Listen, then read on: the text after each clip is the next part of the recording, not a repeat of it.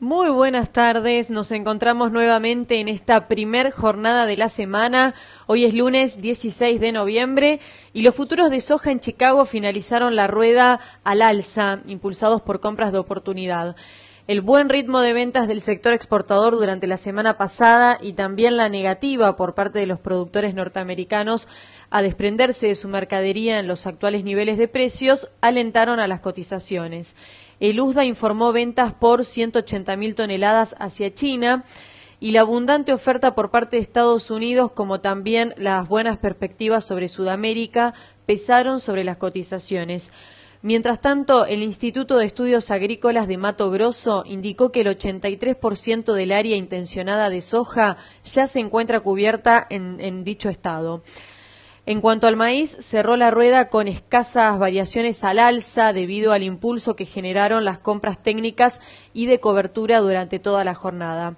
Además, alentaron las cotizaciones la falta de intención de los productores norteamericanos de vender su cosecha y la declaración de Luzda de ventas de más de 1.440.000 toneladas hacia México.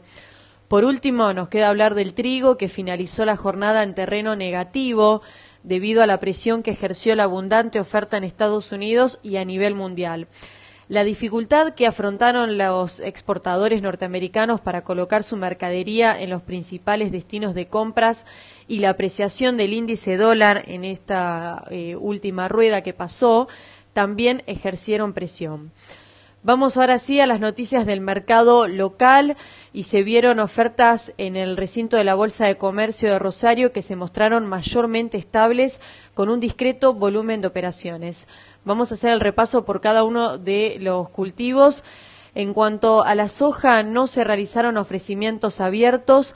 Por el maíz, la oferta fue de 1.200 pesos la tonelada con entrega inmediata, 140 dólares entrega entre marzo y julio. El trigo tuvo un ofrecimiento de 1.300 pesos la tonelada en condición contractual y 150 dólares descarga enero. Por girasol la oferta fue de 210 dólares con entrega a diciembre, 220 dólares descarga entre el 15 de febrero y 15 de marzo.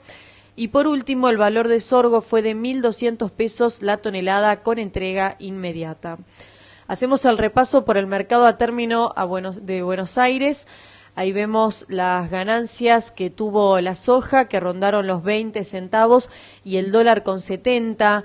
Este valor fue el de noviembre de 2015, que ajustó en 250 dólares. En cuanto al maíz, vemos bajas entre 50 centavos y 70 centavos, tanto para noviembre de este año como abril 2016 y se mantuvo estable diciembre 2015 y julio 2016. El trigo podemos ver subas entre 50 centavos y 3 dólares con 60. Este valor fue para el contrato de enero 2016 que ajustó en 163 dólares con 60, mientras que se mantuvo estable este mes, noviembre 2015, en 157 dólares con 50. En el ROFEX, el contrato de soja fábrica noviembre cotizan 245 dólares la tonelada. Hacemos el repaso por las noticias financieras. El dólar blue subió 5 centavos a 15 pesos con 10, mientras que el oficial aumentó un centavo a 9 pesos con 64 y medio para la venta. El euro nuevamente se mantuvo estable, 11 pesos con 26 para la venta, 10 pesos con 61 para la compra. Seguimos con la bolsa porteña, aumentó 4,3% a 13.749 unidades y tocó un nuevo récord en medio de las búsquedas de evaluaciones atractivas que llevan a cabo los inversores de cara al balotaje. Y por último, el precio del petróleo subió en Nueva York, sostenido por factores técnicos y también geopolíticos, eh, y también de tendencias de las bolsas mundiales. El barril para entrega en diciembre ganó 2,4% a 41 dólares con 74. Ahora sí hacemos el repaso por lo que aconteció a la rueda del mercado de Liniers. Hoy ingresaron 25 camiones con 1.041 cabezas de animales. Repasamos algunos de los precios que vemos en pantalla. Por los novillitos de 351 a 390 kilos se vio un precio promedio de 22 pesos con 50 al kilo. Los terneros tuvieron un valor de 22 pesos con 70, mientras que las vacas conserva buena tuvieron un valor de 9 pesos con 70. Las vacas buenas, 15 pesos con 50. Vacas regulares, 14 pesos con 60. Y por último, vacas conserva inferior tuvieron un valor promedio de 8 pesos con 60 el kilo.